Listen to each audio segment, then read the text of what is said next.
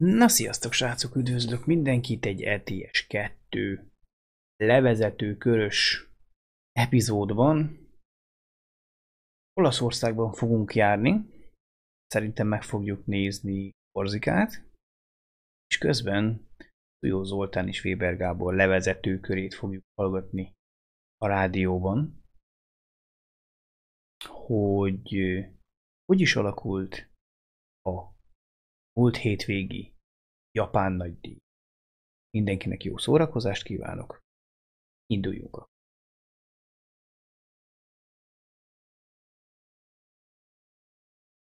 Nevezetőkör. Forma 1-es podcast Szujó Zoltánnal és Weber Gáborral. A podcast támogatója és szakmai partnere a Hungaroring Sport ZRT. Box, box, box. Find A 2019-es szezon 17. versenyén a Mercedes bebiztosította újabb, sorozatban hatodik világbajnoki címét. A Valtteri Bottas által megnyert japán nagydíj időtervét a HGB Typhoon miatt módosítani kellett, ezért az időmérőedzés és a futamot ugyanazon a napon rendezték meg. A Suzuki versenyt véletlenül egy körrel hamarabb intették le, és ez a végeredményre is hatással volt.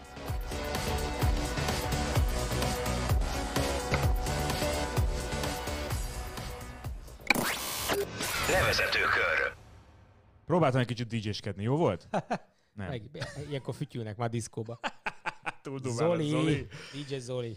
Kicsit hagytam még az úgynevezett gumizenét alattunk eh, kicsúszni. Olyan fölkeltél ilyen háromkor? Öm, Ja, rá, gyorsan ránéztem. gyorsan ránéztem, mi történt. Egyébként figyelj, Lewis Hamilton megkérdezte a rajongóit, hogy szerintük jó, jó volt ez a sztori. Hamilton, mert egyszer akar irányítani mindent. Gábor, 5 millió 600 ezer követője van a Jó, Twitteren. hát. Tehát ez egy komolyabb mintavétel, mint amilyen valaha Ez is ne- lesz a ez- Libertinek. Ez nekem sok volt. Nem, nem csak az 72 éjszaka. százalék azt mondta, hogy jó ötlet volt egy napon megszervezni. Neked ez jó lenne? Hát most figyelj, pont a, a dramaturgia hiányzik belőle. A- Az időmérőnek is van egy felvezetője a csapatok készülése szempontjából is, a versenyzők rákészülése szempontjából is, és aztán utána meg alszol egyet a futamra, és átrakod magad futam üzemmódba, de három-négy órán belül Azt, ne, nem, azt nem mondom, hogy egy napon kellene, de hogy a háromból lehetne kettőt csinálni. Szombaton van egy szabad edzés, meg mondjuk egy időmérő, Az megy, az nálam is megy. és vasárnap a futam, Egy szabad edzés kevés ezeknek az autóknak, meg ezeknek a rendszereknek, úgyhogy nincs már évközött ezt régóta. De mondjuk, ami tavaly elő került, hogy később kezdjék a péntek, péntek délelőtt, a, a, csapatoknak a versenyzőknek rövid jön egy napon. Péntek reggel kezdődjön csak a hivatalos program. Péntek délelőtt legyen gépátvétel, és péntek délután két szabad edzés estébe nyúlóan akár, vagy Igen. később délután nyúlóan, az simán belefér. Az egy, az egy masszívabb pénteki program, és akkor nem kell csütörtökön ott bohockodni. Egyébként az meg a mi dolgunkat nehezíteni tévés szempontból, Mhm. mert akkor meg forgatni lenne nehezebb, mert Igen. minden a, az aktív napon történne az egész dolog, mert adott esetben akkor csütörtökesig nem is biztos, hogy megjönnének a versenyzők. Gábor, ezen nem is a szurkolók miatt kell elsősorban szerintem a Libertinek elgondolkoznia, meg az FIA-nak, hanem a csapattagok miatt. Hiszen, hogyha ezek felduzzasztják tényleg 25 versenyre a szezon, de mondjuk 24, de jövőre 22 verseny lesz, ami már bőven a határon van, akkor lehet, hogy a csapatok miatt, a, a, a családok egybentartása miatt kell, kell egy kicsit megrövidíteni, megkurtítani. 1-es családvédelmi Abszolút, program. abszolút. abszolút. Hát illetve egy két utazó gárda, Ugye pont Borsos Vandával beszélgettem, aki a, a Red Bullnak a, a hospitality főnöke, hogy így fogalmazok, vagy az egyik hospitality főnöke, és ő azt mondta, hogy a Red Bullnál már az zajlik, hogy a, a jövő évi 22 futamos, és aztán a később akár még többre bővülő naptár miatt, ezért próbálnak most már két stábbal dolgozni, hogy felváltva tudják egymást helyettesíteni, vagy pótolni, és ne kelljen mindenkinek végigdarálni az egész évet. És valószínűleg ez lesz, mint annak idején, amikor külön tesztcsapatok voltak. Így van. Ez azért lesz egy érdekes kérdés, mert eh, 2021-től jön a 175 millió dolláros költségvetési sapka. Hát Az jön, elvileg- október, elvileg figyelj, talán október már jön. 31, tehát két hét és két nap. Két hét és egy nap, meg nem tudom, függ, hogy számoljuk. Magyar, van egy körülbelül két hetünk, hogy kiderüljön. Én nagyon azt érzem, hogy a Liberty amúgy is végig akarja ezt nyomni. Hiába van ilyen meg olyan ellenállás, vagy hiába nem szeretné ezt vagy az bármelyik nagy csapat. Ugye ott veszik ki, vagy ott fogják ki a szeret a vitorlájukból a nagy csapatoknak és a Ferrari vétójogának is, hogy lejár az eredeti Concord szerződés. Most már nem is így hívják, hanem az a megállapodás, amit kötöttek, az 20-ban lejárt. Tehát onnantól kezdve, ha nagyon nem akar senki semmit, akkor is azt csinál a Liberty és az FIA, amit akar. És nagy valószínűséggel én most nagyon azt érzem, hogy azt csinálják, amit akarnak, és nem, nem tűrnek abba beleszólást, mert hogyha a csapatokon múlnak, akkor megint nem változna semmi, a nagyok nem szeretnék, hogy a status quo változzon, a kicsik akarják, de nem tudják átnyomni, és éppen ezért ilyen rókafogta a helyzet, mindenki, a fegyvert fogja a másikra, mint egy ilyen klasszikus mexikai stand-up, stand-offnál, és, és aztán nem dördül a fegyver, vagy ha igen, mindenki meghalt. Tehát szerintem jól csinálja a Liberty ezt, mert sosem verszált egy ilyen nagy szabályváltozást, és sosem tudod, hogy mik a következményei. Sokkal fontosabb kérdés, ami aktuális, és ezt viszont el kell dönteni, hogy ez a három időmérős kvalifikációs futam, amit jövő évi szombatra belengedtek a francia, a belga és az orosz nagy díjra, hogy arra mondjuk mind a tíz csapatnak egységesen igent kéne mondani. Hogyha nem mennek bele, akkor nincs 20-ba próba. Kérdés, hogy mi a rosszabb? Három futamon próbálni 20-ba és utána nemet mondani, vagy meghagyni a Libertinek a lehetőséget, hogy most beleírja a 21-es szabályokba, amikor már senki nem telt ellene semmit. Ugye a 15-én rögzítjük a podcastot, azok kedvéért mondjuk, akik esetleg majd néhány nappal később hallgatják vissza, és 16-án lesz pontosan erről szó egy nagy megbeszélésen a Forma 1 csapatok az FIA és a Liberty részvételével. Egyébként ami még érdekes ezzel kapcsolatban, jó belecsúsztunk, de majd akkor megbeszéljük hát, a Typhoon is. Ez egy ilyen podcast. Hát csapongjunk, csapongjunk. Jó, szóval, hogy Szingapur környékén a három nagy csapat, a Mercedes, a Ferrari és a Red Bull állítólag egy 10 kérdésből álló kérdőívet küldött el az összes többi csapatnak, hogy vajon ők mit gondolnak, hogy felmérjék egy kicsit az erőviszonyokat, mit gondolnak a 2021-es átfogó szabályváltozásokról. És mindössze négy csapat mondta azt, hogy nekik oké, okay, így mehet, ahogy már az előzetes tervekben szerepel. Hat viszont azt mondta, hogy no way, ők nem állnak ebbe bele, és ugye akkor még nem beszéltünk a Ferrari vétójogáról, ami valóban eltűnik majd, amikor lejár az úgynevezett Concord szerződés, a korábbi Concord szerződés, és akkor teljesen tiszta lappal indulhat mindenki, de azért azt látjuk, hogy folyamatosan puhul a Liberty. Nincs e, e, egyen, egyen fék, vagy fék tender is lekerült az asztalról, nincs sebességváltóház tender, nem kell azt legyártani központilag, mert félünk, hogy milyen minőségű lesz, nem felel meg a Forma 1 minőségnek. Tehát szépen lassan puhul minden. nem értesz egyet? Te mit gondolsz én, ezekről? Én azt, hogy szerintem elképesztő módon kellene koncentrálni arra, hogy sokkal kevesebbe kerüljön a Forma 1, mert amióta uh, én a Forma 1 úgy nagyjából, nem tudom én, újságíróként foglalkozom, látjuk, hogy mi van az új belépő csapatokkal. Szenvednek. HRT, Caterham, mind-mind, Menor tűnnek el a, a sülyeztőben. A ház állítólag gondolkozik azon, hogy hagyja az egészet a francba, mert túl sokba kerül neki. Tehát egész egyszerűen szerintem ez az üzleti modell, ez fenntarthatatlan. Értem azt, hogy az nem menjen a Forma egy közelébe se, akinek nincs egy milliárd dollárja alaphangon, de szerintem ez a dolog ez innentől kezdve fenntarthatatlan, és ugye ami, ami a tágabb kép... Ezért jön a sapka. Ezért jön de, de a sapka te is tudod, de tudod, hogy a sapka nem old meg mindent, mert röhögve mondják azt, hogy jó, hát a marketing nincs benne, a top vezetők fizetése hát a top nincs benne, vezető nincs benne, a pilóta nincs benne. Jó, hát ez Igen. kétségtelen tény, de hogyha megnézel egy mai csapat költségvetést, az akkor is uh, alsó hangon 60-80 millió dolláros költségcsökkentés jelent a ferrari és a Mercedesnek, és néhány 10 milliót a Red Bullnak. Tehát, hogy azért a, nagyok, ez, a nagyoknak ez vérveszteség. A középcsapatok, a másik hét csapat, hogy így fogalmazzak, nem igazán kell, hogy megreformálja a költéseit. Ez viszont azt eredményezheti, mert mit látunk jelen pillanatban, hogy van egy Forma 1 az élen, és van egy Forma másfél, vagy akármi, aminek hívjuk a középcsapatokkal, mert igazából most a Williams-et vegyük úgy, hogy jövőre visszajönnek, és akkor nincs igazából kis csapat. Mert a Williams most hiába egy egykori nagy csapat, a teljesítmény egy kis csapatére emlékeztet idén, de mondjuk vegyük úgy, hogy van hét csapat a középmezőnyben, különböző erősséggel, aktuális erőviszonyokkal, és van három csapat az élmezőnyben. Itt ezt a szakadékot nagyon nehéz áthidalni, viszont hogyha azt mondod, hogy a 21-es költségsapka pont a három nagy csapatnak veszi el az élét. A három nagy csapattól veszel olyan fejlesztési pluszokat, amin, amin keresztül tized másodperces előnyöket faragnak maguknak, akkor végül is megcsináltad a lényeget, a középmezőny az nagyjából egy szinten költ, nagyjából egy szinten is vannak teljesítményben, a nagyokat meg feléjük húzod vissza. És előbb-utóbb ebből kialakulhat egy olyan kép, hogy a nagy csapat mindig nagy csapat lesz, mindig hatékonyabban dolgozik, mert nála vannak a legjobb mérnökök, nála vannak a legjobb pilóták. Persze, hogy többet fog tudni kihúzni, még ugyanabból a csomagból is, de nem lesz ennyire elképesztő a különbség, és szerintem egy szabályrendszernek egy ilyen alapra kell törekednie, teljesen egalizálni nem tudod. Az tényleg már egy ilyen bajnokság, egy ilyen sorozat, azt Igen. nem akarja soha a Forma 1, és, és azt sem tudod. Nézd meg egy egyensúly, nézd meg egy BTCR-t mit összeszenvednek a szerencsétlen kiegyenlítő súlyokkal teljesít, minden egyébben három-négy szinten próbálják kategorizálni őket, őket, nem csak a súlyokat, hanem a turbonyomást, meg minden egyebet próbál befolyásolni, állandóan megy a kiabálás. Kell egy jó szabályrendszer, és ott egyértelműen így is, meg úgy is lesz különbség, csak hogy ne legyen ekkora szakadék. A lényeg és a nagy kérdés az az, hogy van-e egyáltalán tökéletes szabályrendszer, illetve hogy a Forma 1 azon is el kell gondolkoznia, hogy nagyon megváltozott a körülötte lévő világ. Tehát most már szórakoztató ipari termékből eh, annyi van a piacon, hogy a Forma 1 ilyen szempontból is fel kell verni a versenyt, nem csak az egyéb sorozatokkal, hanem a Netflix-el, meg a filmekkel, meg, a, meg az HBO-val, meg a Igen, ezzel e, abszolút egyetértek, de ez így van már szerintem az egész 20. században. Igen. És a 21. 20 -ban, a 21-ben. Tehát a 2000-es évek elejétől ez, ez tény, csak ugye amikor elkezdődnek a változások, akkor az elején még ne, nincs olyan ráhatásuk, még annyira nem érződik, hogy ez mit okoz majd később.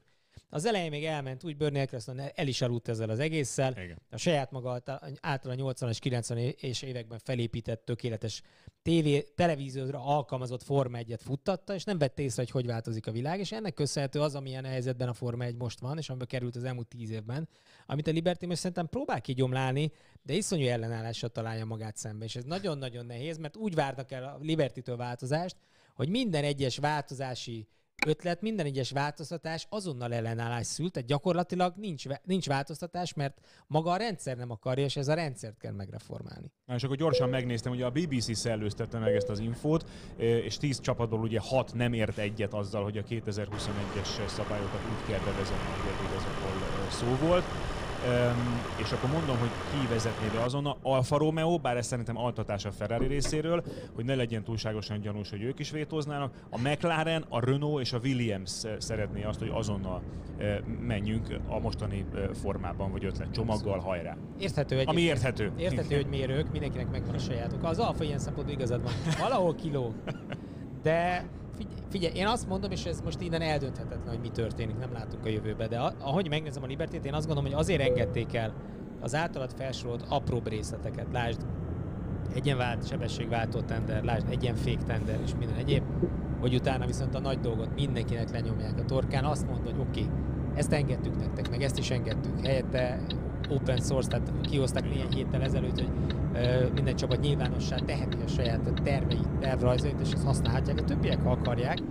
És innentől kezdve végül is adtak nekik valamit, tehát hoztak is ajándékot, meg nem is. Én teljesen biztos vagyok benne, és hogy nem így lesz, akkor majd a szememre vethetett bármelyik podcastba később, hogy ezt nagyon keményen át fogja vinni a Liberty, egyszerűen nem tűrnek ebben ellenállást, és ez szerintem ez egy jó oldala a Liberty vezetésnek, vagy annak, amit a Ross Brownék kitaláltak. Nézd, ez az egyetlen, és a világ történelem, a Form 1-es történelem első olyan szabályrendszer módosítás ötlete, amit tudományos alapokon évek, évek alatt kiérlelve folyamatosan szakemberekkel próbáltak kitalálni. Nem az volt, hogy Bernie Eccleston kijött a kamionjából, valakivel szembe találkozott, aki mondott neki két mondatot, és utána körbenézett, és azt mondta, hogy jó, holnaptól legyen így. Hát hány ilyen szabályváltoztatást éltünk meg, majd utána abból mind visszakozni kellett az utóbbi időben. Ez most ki van találva, nem véletlenül. Persze, hogy mindenki a saját önös érdekei miatt megpróbálja a saját pecsenyét sütögetve azt a részét lecsipni az egésznek, ami neki nem kell. Ebből jön az, hogy sen, az, a nagy egészet senki nem akarja, csak amit senki nem tesz hozzá, hogy mindenki más részletei miatt nem akarja. És ezt nem lehet. Tehát ilyen szempontból egyszer csak diktatórikusan az asztalra kell csapni, és azt kell mondani, hogy már pedig ez lesz, ha jöttök, jöttök, ha nem jöttök, nem jöttök, és ez a ferrari is áll, pont az előbb említett okok miatt, hogy nem lesz vétójoga, mert lejár a szerződés, ami a Form 1 még él. Ezt a, ezt a dörzsöltséget, ezt az erőt egyébként némi amerikai cowboy vagy western filmbe illő háttértámogatással Ross Brownról simán el tudom képzelni. Abszolút. És ugye tényleg, ahogy mondod, itt azért szélcsatornás teszteket végeztek, Nikolá Tombázisok, Pat Simonsok csatlakoztak a Ross Brown által össze verbuvált csapathoz, pontosan azért, hogy tudományos alapra hozzák meg ezeket a szabályokat érintő kérdéseket. Minden esetben meglátjuk, mondom még egyszer, e hét közepén podcastunk felvétele Akkor te úgy után. érzed, hogy a, hogy a Liberty nem fogja átverni, és inkább a csapatok sok ló disznó én, én azt hiszem, azt mondja Liberty, hogy hagyjuk. Tudod, mibe fog beleesni? Akkor a palota tudod, tudod, tudod, mibe fog bele, milyen hibába esik be a Liberty? Abba, hogy, vagy olyanba, túlságosan meg akar felelni mindenkinek. Ezt már amióta itt vannak a Forma egy élén, azt érzem rajtuk, hogy nagyon politikailag korrektek akarnak lenni. De ez, maximum, ez maximum a Kevin Becsiszt érinthetné, miközben most már ők is benne vannak évek óta a, a, a mély vízben.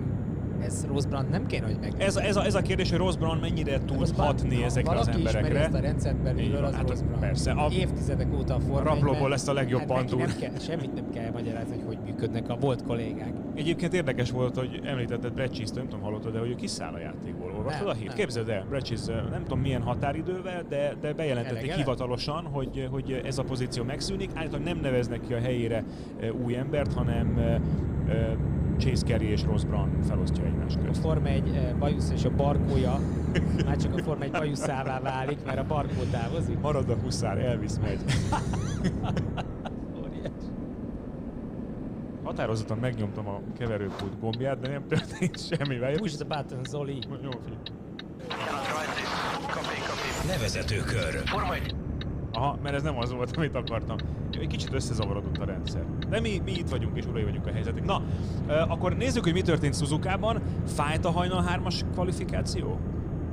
Azért nem fájt annyira, mert én, eh, én lefeküdtem aludni. Gondolkodtam már, nagyon sok stratégiám volt, erről beszéltünk a hétvégén, és Kis Norbi úgy jött, hogy ő nem én, én korábban már elkövettem ezt az idézőjeles hibát, hogy nem aludtam még annó Ausztrál nagydíjok, meg egyébként esetén. És, és így ismerve magamat, meg az elmúlt évek tapasztalatait, én általában ilyenkor, ha, ha csak egy órára is, akkor is lefekszem. Nekem az egyszerűen jobbat tesz. És nem mondom, hogy tűéles voltam, tehát éreztem, éreztem hogy éjszaka közvetítünk, de én, én kettőkor fölkeltem, negyed háromkor beindul, elindultam a tévébe, tök nyugiba, üres, ez a legjobb egyébként, nincs forgalom, nem jutsz 10 perc. egy pillanat alatt besiklasz mindenhol, bemész, becsoszogsz, összeszeded magad, próbálsz ami hangot generálni, hogy elkezd beszélni. Ja, gyorsan elmondok egy kulisszatitkot, Na. biztos megfolyt majd ezért kis Norbi. De aki látta az időmérőt, Beszéljük ki. 2 óra 50 perckor ugye beköszöntünk, akkor még elment egy játék, meg egyebek, ugye nem volt stúdió felvezető, meg Igen. kinek, tehát ilyen éjszaka közepén.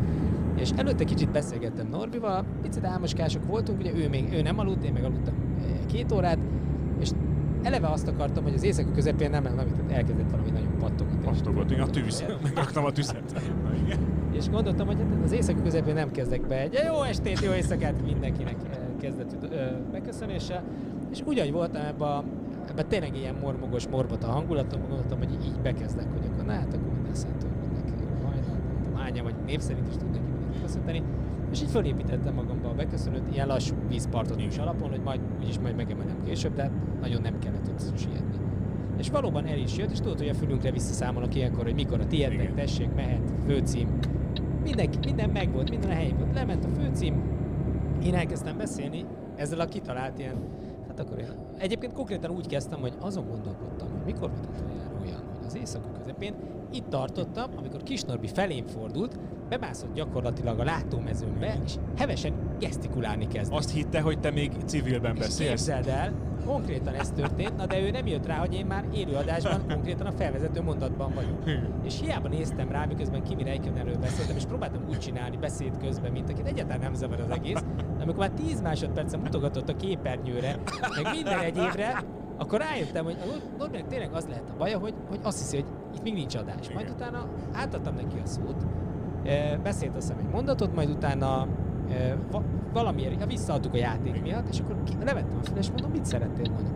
Hát azt, azt mutattam, hogy megy az adás. Nem tudom, hát adásban beszéltem. De hogy ő neki nem tűnt föl. Ez valószínűleg az éjszaka következménye volt. Szép. És utána, na, utána nagyon röhögött rajta 5 percen keresztül. Hát szerintem ezt nem tudom, hogy hány ezeren hallhatták az éjszaka kellős közepén. De érdekes volt ez a, ez a három órás kezdetű időmérő. Egyébként utána képzeld, el, nem nagyon tudtam elaludni. Norbi rögtön elaludt, és bementünk a szerkesztőségi Igen. szobába. Nekem meg pörgött az agyam. Úgyhogy úgy nyomtam le a napot, hogy kettőkor fölkeltem, és utána gyakorlatilag ilyen félálomba a személyemat nézve, de gondolkodva, és másnap, aznap este 11 fél 12-ig bírtam a dolgot, hogy e- egész tűrhető volt, de, de én nem, nem díjat. Tehát a minden hétvégé így zajlan, azt azért Az azt nem díjat. Na ugye a vasárnapi ö, kvalifikáción jól ment a Ferrari, Sebastian Vettel, Paul Leclerc második rajthely, Vettel azt hiszem talán van 9 futam után ö, verte meg először, igen, Leclerc kijött a.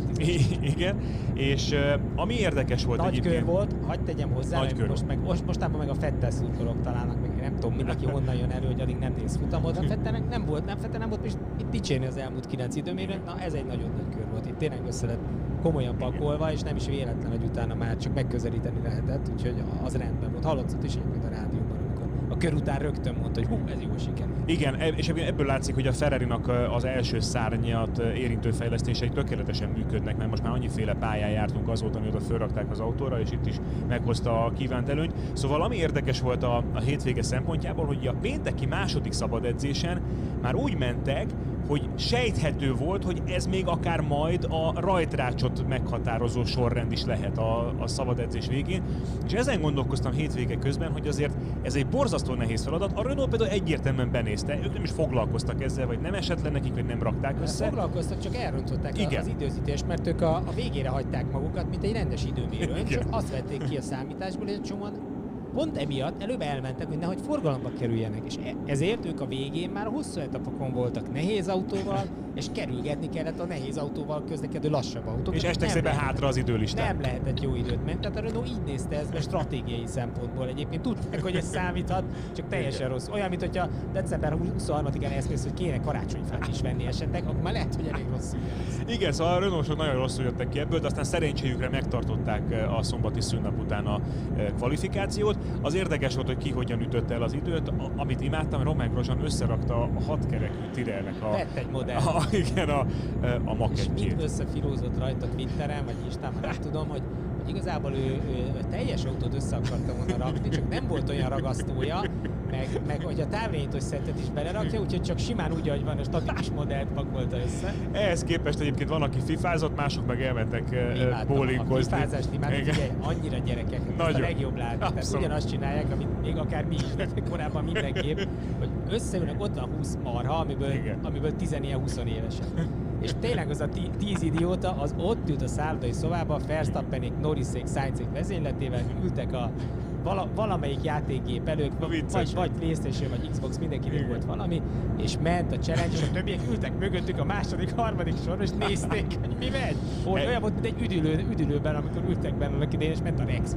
Igen, egyéb, egyébként, hogy kififázik még, amit néhány évvel ezelőtt szúrtam ki, Jolion Palmer, nem lehet olyan régen, Jolion Palmer és Jack Nicholson, ők ugye most a BBC rádiós közvetítésének a kommentátorai, Jolion Palmer nyilván korábbi Forma 1 pilóta, és három perccel a főcím előtt még simán nyomták a foci meccset a kommentátorálásban. Tehát mindenki másként lazít, vagy készül rá a e, közvetítésre, de ezt öröm volt látni. Na, Sebastian Fettel, kiugrá, a kiugrást nem kell sokat várni, ahogy a dal is mondja, de a nagy kiugrást, ez nem volt nagy kiugrás, ami érdekes volt Sebastian Fettel rész. Ugye bemozdult, aztán észbe kapott, hogy korán indult, és ez az ütemvesztés, ez már pont elég is volt ahhoz, hogy Bottas köszönje szépen, és nagyszerűt rajtolva gyakorlatilag el is döntse a saját javára ezt a futamot.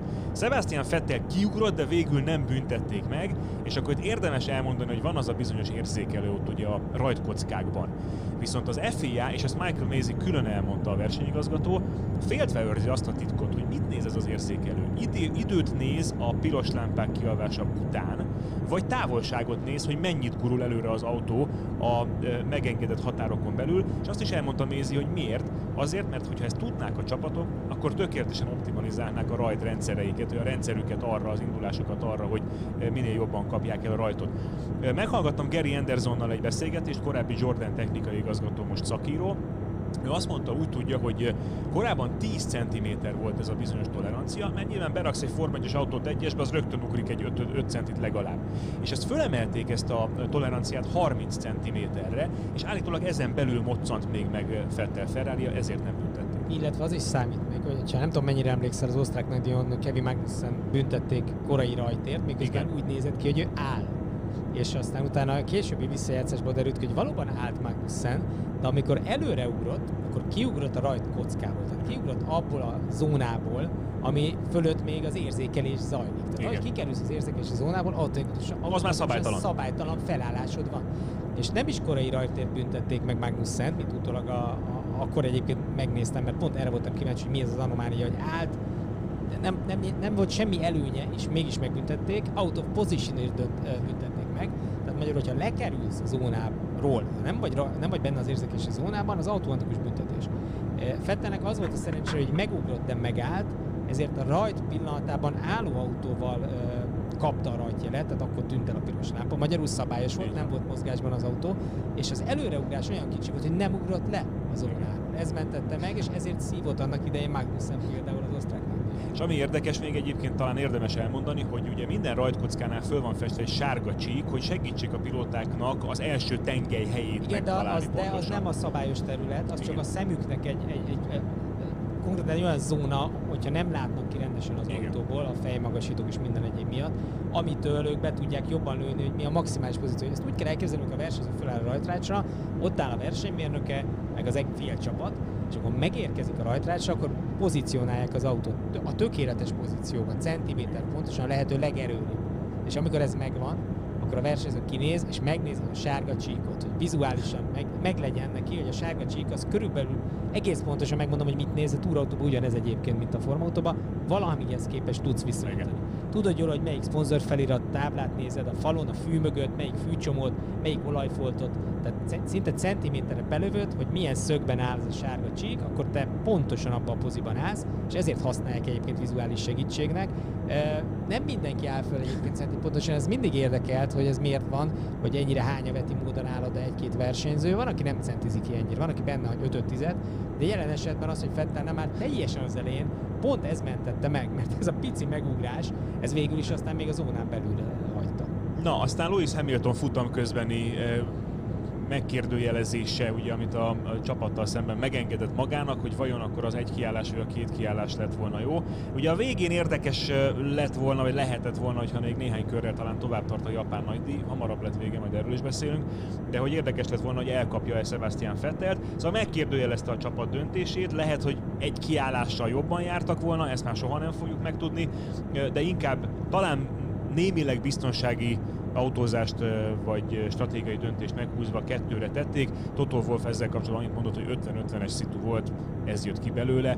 A, azt szerintem benne volt a pakliban, hogy ha már Bottas ekkorát rajtolt és elől van az első kör végén, akkor húzza be ő ezt a futamot, mert a lelkének azért nem tett rosszat egy harmadik futam győzelem idén. Mindenképp ez Bottas futama volt, tehát ez megérdemelten, és azt is mondta Wolf, hogyha mégis kint hagyják Hamilton, akkor meg kellett volna kérni rá, hogy engedje. szerintem a, az volt a döntés, és beáldozták inkább Hamilton esetleges második helyének esélyét, hogyha pedig én kitartottam volna. Tehát azt láttam, hogy érdemes lenne megpróbálni, hogy kint maradjon. Figyelj, mit buktak volna rajta? Abban negyedik helyen 40 másodpercre volt, tehát így is, úgy is harmadik lett volna egy extra kerékcserével. Tehát ilyenkor nem reagálsz. Azért nem reagál, vagy azért hoztak mégis olyan döntést, hogy kihozzák, és próbálja meg főni, ami aztán ugye nem sikerült, csak fölzárkozni, de előzni nem. Mert meg szerették volna úgy nyerni ezt a hatodik világbajnoki címet, a konstruktőrit, hogy ez legyen a téma. Tehát, hogy úgy lehessen kommunikálni, hogy Suzuka-ban Bottas tökéletes futam, jó rajt után győzött, a Mercedes meg hatodszor zsinórban konstruktúri világbajnok, és ne arról beszéljen mindenki, hogy a Mercedes rászólt Hamiltonra, hogy engedje el Bottas, mert akkor garantálhatod, az lett volna a téma, hogy miért kellett Bottasnak elmenni Hamilton mellett, miért nem így, miért nem úgy. Ennek az egésznek a méregfogát kihúzták, dobtak egy második helyet harmadikra helyet. Kinézem belőlük, hogy már erre is tudtak gondolni. Egyébként megjelentek a közvetítésben ezek az újfajta grafikák a gumik állapotáról. Azt hallottam rajtatok, hogy ti is Hát. tamáskodtatok, nem feltétlenül pontos infók ezek. Minden esetre tudod jól, nem akarok itt nagyon sok rosszat mondani a háttérben, de tudod jól, hogy mi a véleményem ezekről az extra grafikákról, meg hogy milyen pontosságúak ezek sokszor, ezek a ha statisztikák. pontosak szerintem jót tesznek, a, dramaturgi, a közvetítés dramaturgiájának jót Itt a lényeg tehetnek. a ha. Hát igen, ez a kérdés. Ha, ha pontosak, de általában, általában nem, hanem általában inkább annak szólnak, hogy csináljunk valami extra, mutassunk még valamit. Csak szerintem a Forma 1 nézőközönsége sokkal szofisztikáltabb annál, amilyen szintű információkkal a Liberty megpróbálja kiszolgálni. Azok kedvéért, akik esetleg nem látták, ugye megjelent egy ilyen újfajta grafikai csomag a közvetítésekben, hogy azt mutatják, hogy hány százalék van még a gumikból tulajdonképpen, hány százalékosak azok a gumik, amik éppen az autón vannak, de hát egyelőre ezeknek az információknak a forrása az finoman szóval megkérdőjelezhető, meg a pontossága, inkább a pontossága. igen. Igen. Volt, konkrétan emlékszem, Hamilton 30%-os hátsó gumis állapotnál közölte, hogy nincs tovább, elfogytak a gumik kerékcsere előtt, majd utána Fettel támadta 6 kör óta, 7 kör óta, tehát még viszonylag frissek voltak a gumik, már ugyan kaptak, akkor kiírták, hogy 10 és 20%-osak a hátsó gumiai, és mindenféle gond nélkül próbálta lenyomni a pályáról Fettel. Tehát azért itt azért vannak benne ilyen elég finom átmenetek és nagyon nem mindegy, hogy kiraksz egy 10%-ot, meg egy 30-at, akkor mindenki azt gondolja, hogy egy 30%-os gumi jobban tapad. Ehhez képest totál az volt. Aztán végül az 53 körös japán nagydíj az 52. körben véget is ért, mert a fénypanel, ami ugye a tavalyi kanadai nagydíj óta, vagy az azutáni időszak óta hivatalosan jelzi a futam végét, az hamarabb gyulladt fel. E, állítólag rendszerhiba lépett föl, nem igazán értette senki, hogy ez, ez micsoda. Viszont ami érdekes, hogy ugye így az egyel korábbi állás számít hivatalos végeredménynek, azért Perez, aki az utolsó körben eléggé összetörte a Force Indiáját, Racing Pointját, bocsánat, az utolsó körben ugye kiesett, összetörte, mégiscsak a kilencedik lett, tehát kapott két világbajnoki pontot. akadtak össze. Így van. Hülkenberg lett a tizedik, és nem a kilencedik, tehát ő rosszul jött ki ebből. Stroll pedig nem kapott pontot, tehát a kanadai is bosszankodhat, mert végül nem a tizedik, hanem a tizenegyedik eh, lehet. Tehát ez csak így, vagy lehet, ez csak egy kis érdekesség, de még akár a eh, rendszer is hibázhat. Sebastian Fettel, az old school forma egy nagy rajongója, rögtön bedobta az ittszert, hozzák vissza a zászlót, sokkal jobb volt. Hát van zászló, ugye most van, is volt, csak, csak díszelem, nem az a hivatalos vége, igen, és de az a helyzet, hogy amíg, amíg nem volt fénypanel, addig az zászlóval is képesek voltak hibázni. Egy Lásd, később, még Winnie Harlow szupermodell. vagy Pelé. Tehát korábban, később, én nem tudom, mit ennyire nehéz kiszámolni, amikor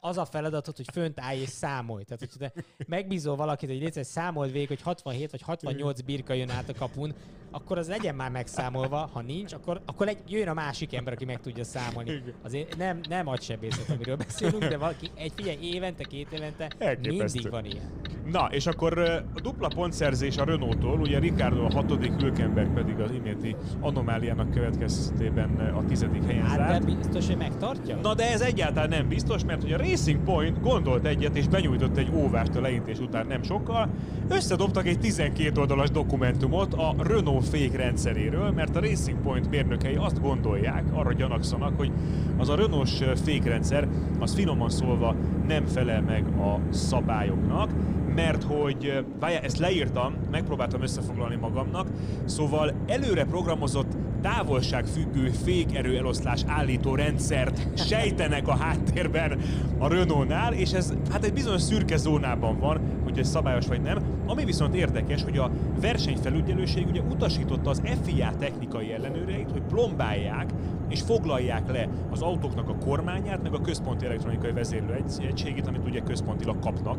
Ekúta, hogy szép Az Ekút, így van. És ugye itt, itt még tárgyalások várhatók, mert hát olyan területre tévedt a Renault, ami nem feltétlenül szabályos, na de azért ez tökéletesen rávilágít arra, és mindig beleveri az orromat a rideg valóságba, hogy olyan szép, romantikus dolog a Forma 1, a lófüttyöt. Itt kőkemény, kőkemény ipari kémkedés van, egymás felnyomása, ahogy nem szégyelnek, a Racing Point 12 oldalat szépen összeállított, berakta egy izébe, egy bugyiba, és odaadták az FIA-nak, hogy szerintünk a Renault nem szabályos. Utoljára romantikus 1894-ben volt a Rouen Párizs Rouen versenyen, ami a világ legelső autóversenye volt hivatalosan.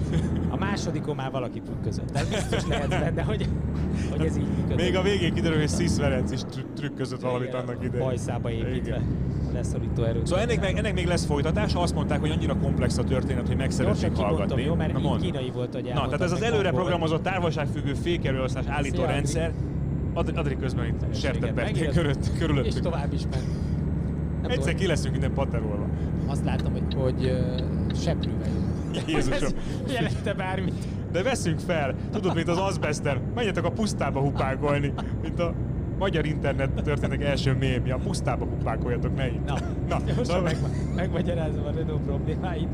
Uh, igazából a történet arról szól, amiért a részünk, hogy befújta őket, hogy ugye sokszor látjuk közvetítés közben, hogy menet közben állítják a fékerosztást a versenyzők, ezt ma már a kormányról nem egy kis karral, a kormányról teszik meg gombokkal. Hatalmas számok vannak egyébként. Nagy számok vannak, 50 és 60 között általában százalékosan, hogy az első tengelynek a fékerosztását mutatja a százból kivonva meg lehet mondani, abból persze természetesen a hátsóit is, hogyha 60 előre, akkor 40 hátul, és ezt látjuk állított őket. Ezt előre szokták programozni, hogy ne kelljen ott pöcögtetni a kormányon 1, 2, 3, 4, mennyit léptettem, hanem meg kanyarról kanyarra előre programozzák, és akkor azok között váltogat a verseny, az 53-as kell, vagy az 54-es, vagy az 57-es, vagy mi. De a pilóta váltja. De a pilóta nyomgatja a gombot. Most a Renault-nál ez úgy ö, lett megoldva, de magyar talán hangzik, tehát olyan megoldást választott a Renault, hogy ezt az előre programozott kanyarról kanyarra tökéletesen belőtt fékereloszlást, ezt a rendszer a GPS adatok alapján amit az autó tud, hogy hol tart a pályán, mert tudja a pályarajzból és minden egyébből az oldalerékből centiméter pontosan gyakorlatilag, hogy mi jön, melyik kanyar jön és hol tartózkodik, az autó magának átállítja, és a Renault azért merte ezt megcsinálni, mert azt mondta, hogy ez a rendszer így nem aktív, hiszen előre programozott számokra megyünk rá, tehát nem arra reagál az autó, amit az autó csinál, és amit a telemetriai adatok alapján leginkább optimálisan kellene, hanem az, amit egyébként a versenyző is használna, csak az autó megoldja helyette, de semmilyen aktív beavatkozás nincs. Ugye a Racing Point meg éppen ezért támadta meg, hogy nem a versenyző csinálja, nem a versenyző irányítja, hanem valamit a számítógép csinál helyette, még akkor is, hogyha ez nem egy aktív adatok alapján történik, hanem egy előre programozott uh, sztori. Még ezek után van egy, kis érdekes kérdés, mert a szabálykönyvben szerepel egy, egy olyan kis félmondat, hogy may not be pre, pre-programmed, de hogy ezt, hogy ezt hogy értelmezed, és hogy mi nem lehet előre programozott, akkor ugye nem lehetne a versenyzők által használt program uh, fok, fokozatválasztó sem előre programozott. De az ugye megengedi, azt használják. Úgyhogy ezt a kiskaput próbálta Renault kihasználni, hogy mióta használja, az jó kérdés, hogy a Racing Point mióta tudjuk, azt se tudjuk. 12 oldalt valószínűleg nem a vasárnapi leintés után írtak össze. Szombaton volt idejük.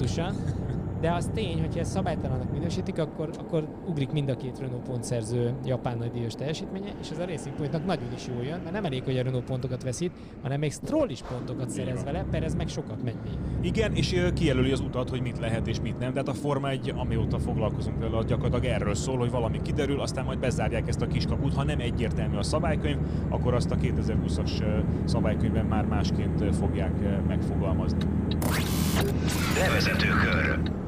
Na, jöjjön az értelmetlen statisztikák rovata. A Mercedes az első csapat, amelyik sorozatban 6 dupla VB címet nyer. Ez egyébként nem értelmetlen statisztika. Ugye anno a Ferrari-nak 1999-ben csak a konstruktőri cím volt meg, akkor ugye Häkkinen lett a McLarennel az egyéni világbajnok, aztán pedig jött Schumacherrel 2000 és 2004 között az 5 dupla, mert az már biztos, hogy valamelyik Mercedes pilóta lesz idén a világbajnok, nyilvánvalóan Lewis Hamilton, mert Bottasszal szemben.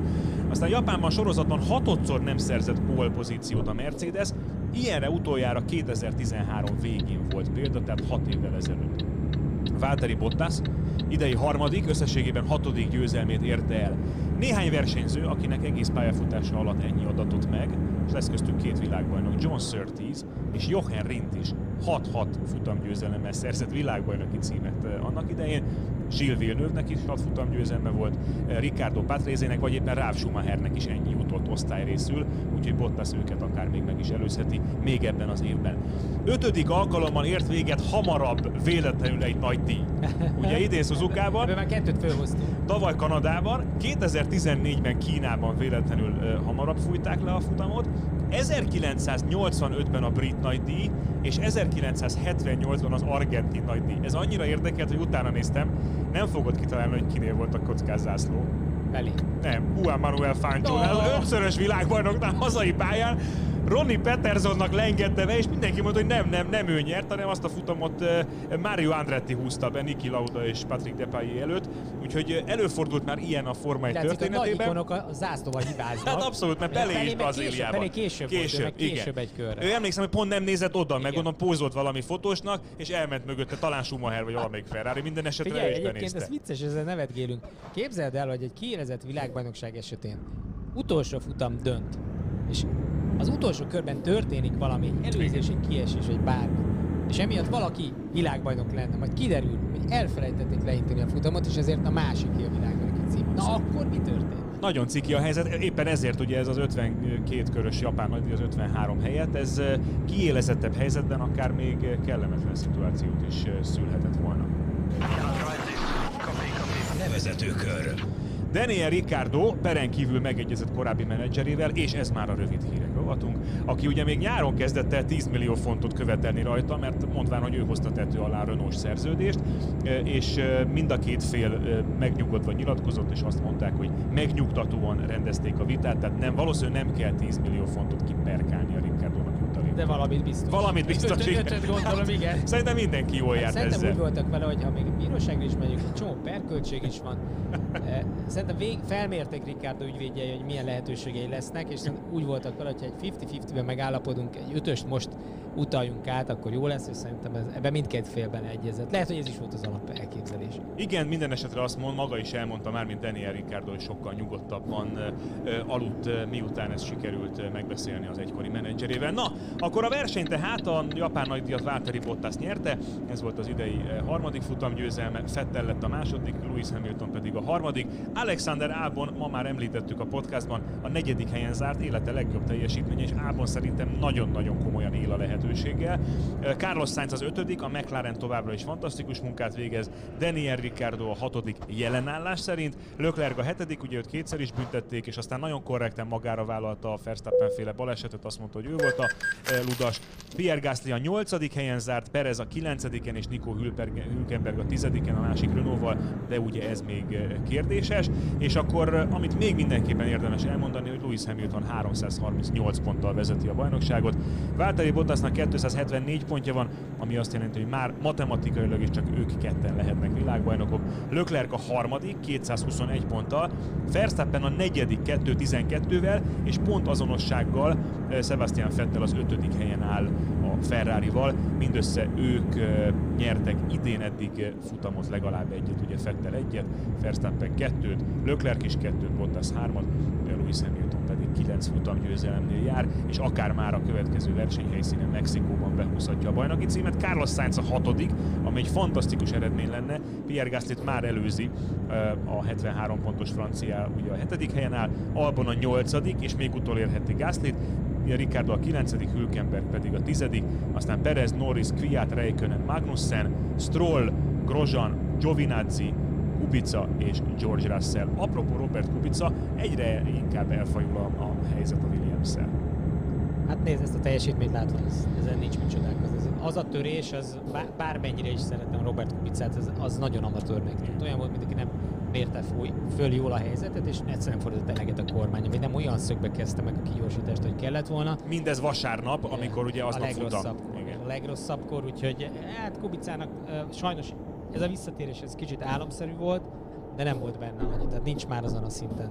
Sem, az fizikailag sem a sérülése miatt, de hogy, de hogy annyira sok év esett ki, hogy egyszerűen a Forma egy a Forma 1 rutinból esett ki, és minden megváltozott azóta, és ez már nem tud alkalmazkodni. És ami szomorú még, hogy Robert Kubica azt mondta, hogy ugye kipróbálták a, az új fejlesztésű első szárnyat, amivel állítólag pénteken fantasztikusan érezte magát, de aztán és az ő elmondása szerint váratlanul érte ez Kubicát, levették ezt a bizonyos továbbfejlesztett első szárnyat, mert hogy bár szerintem nem erről volt szó. Minden esetre azt... És mi lett volna ennek az első sárnak, szárnak a sorsa vasárnap reggel szerintem? Nagy kérdés, viszont annyit mondott Kubica. Nem kérdés, összetört. Ja, összetört. Kubica, és nem lett volna Bocsánat, első szárny. Így van. a csapat megóvta attól, hogy megtöri a, a kér... első szárnyat. Igen, a kérdés, hogy mennyi volt. Igen, a kérdés, hogy mennyi volt, ugye volt-e tartalék ebből. Kubica minden nem, esetre... Nem, mert egy darabot hoztak, és végül Russell mind a kipróbálták, és aztán Russellnek sem volt fönn azt a futamot, tehát oda-vissza volt egy back-to-back check, és aztán hagyták az egészet. Mert a, bocs, a Williams azzal védekezett, hogy eredetileg sem volt tervben, hogy vasárnap a futamon fölteszik. Mindenesetre Kubica azt mondta, hogy egy bizonyos határt átlépett a Williams. És Szerintem meg Kubica lépett át a bizonyos határt, méghozzá azt a határt, amit a Forma nem tehetsz meg. Hogyha nincs elég teljesítményed, akkor idő után hiába prüszkölsz, nem tudsz mit csinálni, nem lehet igazad. Néhány héttel korábban pedig ugye Kubica főszponzora, vagy a mögötte álló főtámogató kérdőjelezte meg a Williams stratégiai visszalépését a versenytől, vagy legalábbis azt, hogy kihívták futam közben Robert Kubicát. Minden esetre ott végleg elmérgesedni látszik a viszony. Minden esetre a DTM-mel tárgyal Kubica, és lehet, hogy a német túrautóbajnokságban látjuk majd, amelynek ugye lesz majd még egy érdekes Fuji Speedway-es szezonzárója, amikor átmennek Japánba, 7 DTM autó lesz ott a Super GT bajnokság nagy finálián. De hogy leverték őket? Hát nagyon, még Button volt talán a legjobb, de érdekes volt egyrészt nézni, hogy mire lesz képes a, a Super GT autó a DTM-mel szemben. Ugye itt szó van arról, hogy egy közös szabályrendszer keretein belül összevonják a két bajnokságot, vagy rendeznek majd közös futamokat. Minden esetre, amit még akartam kérdezni, hogy a Kipchoge futást nézted? Behogy. Ugye? Na, tehát ugye sporttörténelmet láttunk ezen a héten, vagy a múlt héten, mikor? Hétvégén. Mert Eliud Kipchoge egy kenyai futó, az emberiség történetében először két órán belül teljesített egy maraton, 42 Forma 1 technológia volt, arra Figyelj, tehát gyakorlatilag minden lépését megtervezték. A lézer. A lézer, igen, egy felvezető autó húzta azt a lézert, amelyet követnie kellett Kipcsogének és a csapatnak. Tökéletes aerodinamikai formációban vitték a nyulak, több mint 40 nyúl, és nem akárkik egyébként olimpiai bajnokok, világ és Európa bajnokok, hát, érmes lépések. 35-40 másodpercet számít a, a, szé, a szélárnyék. Gábor, a még- maraton távján. Még arra is figyeltek, hogy egy ilyen fordított V alak ment elől, és még Kipchoge mögött is volt kvázi hátsó szárny, ami még gondolom az áramlatokat oldalt így kisimította, vagy elvitte a főhős mellett. Figyelj, minden lépését néztem, 2 perc, 50 másodperc, kilométereket, eh, perces kilométereket csinált. Ez egyébként az volt benne a félelmezes, hogy már előtt én is számoltam, akkor hogy lehet végigmenni rajta, és pont azt számoltam, hogy 1.59.49 jön ki. Egy 50 Ez 40 első- a ne- vége 40 azért, mert hogy maradt még ereje sprintelni az utolsó néhány száz méteren egyet, vagy egy keményebbet belelépni. Nyilván nincsenek ilyen optimális körülmények, meg mindig teljesen sík pálya. Nem is hivatalos. időjárás, Nem is hivatalos, de hogy ez, ez szép volt ö, egyébként megnézni, hogy ezt meg lehet csinálni. Tehát ez egy ilyen nagy, nagy határ, és valóban a, a pszichés oldalát ne felejtsük, hogy innentől kezdve, hogyha tudod, hogy meg lehet, Igen. sokkal könnyebben rámész. Hát ő is tudott 250-es ezreket futni, hát ne szórakozzunk már. 2 perc, 50 másodperc ezlek, és annyira ki volt számolva, amikor véletlenül mentek egy 2.48-at, akkor a következő 2.52-re visszalassították, hogy véletlenül ki se fu- ki ne fussa magát. 21 km Tedd föl egyszer a futógépet a 21-re, és menjél úgy egy 50 másodperc. Én azt mondtam, hogy én szoktam futkarászni, hogy sok óra függő.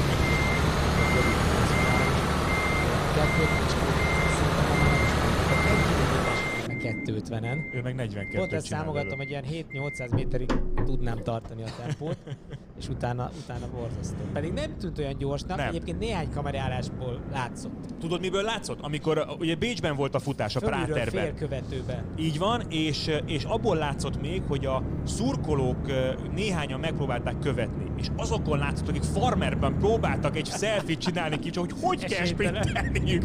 Öröm volt nézni. Na, kicsit elkanyarodtunk, de azt hiszem, hogy ez a sporttörténet tehát ennyit megért, hogy a levezető körben is megemlékezzünk Imádtam. róla. Gábor, akkor folytatódik a VB Mexikóban, ami azt jelenti, hogy ö, 14 pont kell Hamilton. ennyi, Zoli. így van. 14 pont Bottashoz képest. Ugye Szerintem most picit a, a plusz egy pont a Ja, is gyorskörért beletettem, megkavarja. Igen, igen. 78 pontot lehet majd, most még 104, igen. és utána 78 marad, és ugye 64 pont köztük a különbség, tehát hogyha ha 78 fölé nő, akkor a Austinba már teljesen mindegy, hogy mennek. Én meg erre is azt mondtam már heteke, hónapokkal ezelőtt, hogy szerintem Hamilton örülne, ha Austinban lenne Igen. világbajnok, és nem Mexikóban. Szerintem ezt a 14 pontot szépen be lehet osztani. Akkor van probléma, idézőjelben, ha Bottas kiesne. Mert akkor, akkor nehéz lenne nem 14 pontot szerezni, vagy akkor negyedik helyre kéne bejönni, vagy mögé.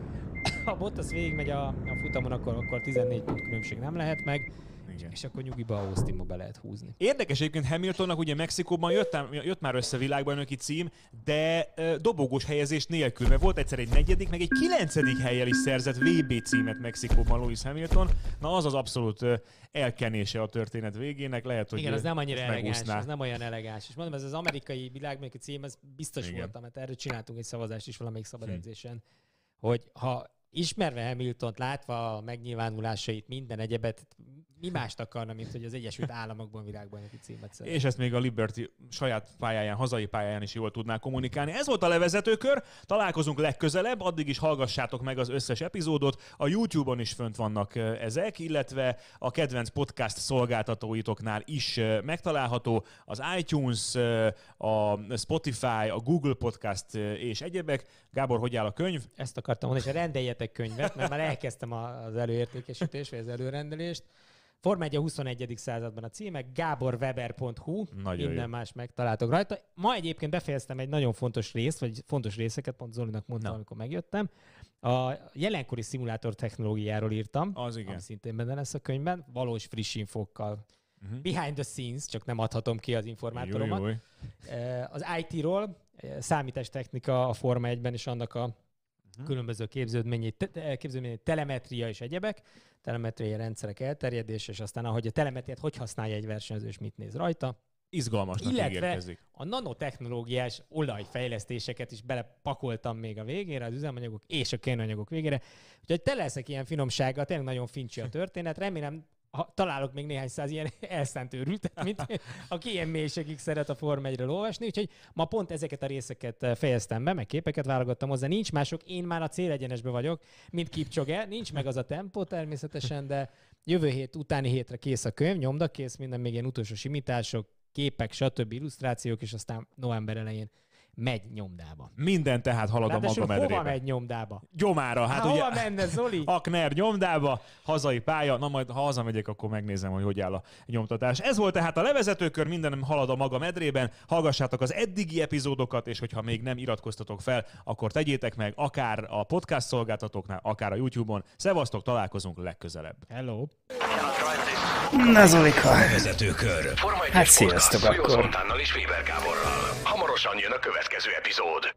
így is van. Köszönjük szépen, hogy itt voltatok és megnéztétek ezt a videót. Találkozunk majd mi is a legközelebbi ETS2 levezetőkör. Sziasztok!